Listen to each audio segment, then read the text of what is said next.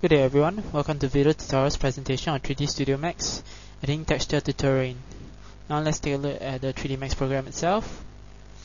Okay, we will now add the material to the terrain, so let's click on Material Editor, click press the letter M to open Material Editor, click on, make sure you select the material you want to assign this, uh, click on the object you want to assign material to, click on Assign Material to Selection button, then click on Show Map in Viewport, then click on the diffuse map button double click bitmap then select a suitable uh, map to use. Let's say I select tree bark so double click on that. Now we right click on the top viewport select F press F3 you can see the material in the top viewport. Now let's go click on go to parent scroll down a bit click on maps button click on the opacity map button. And we double click gradient map. We're gonna adjust transparency. So this part is transparent because of the black color here. This part is opaque because of the white color here. Let's click here. Right click and then select edit properties. Then the color here.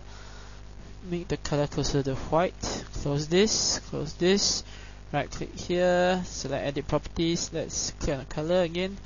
Change the color to a bit closer to black. Then close this close this. Move this around a bit. Then scroll down a bit. Select fractal select amount 1 levels let's select 10 fractal is important for making uh, for making randomized making transparency or the gradient a bit more randomized like you see in this case okay now we right click on the left viewport select shift and move drag it down. Okay this will make a copy. And click ok. Let's change the position of x-axis change this to minus 1 then press enter. Now we select a different material slot. Click on assign material to selection click on show map in viewport.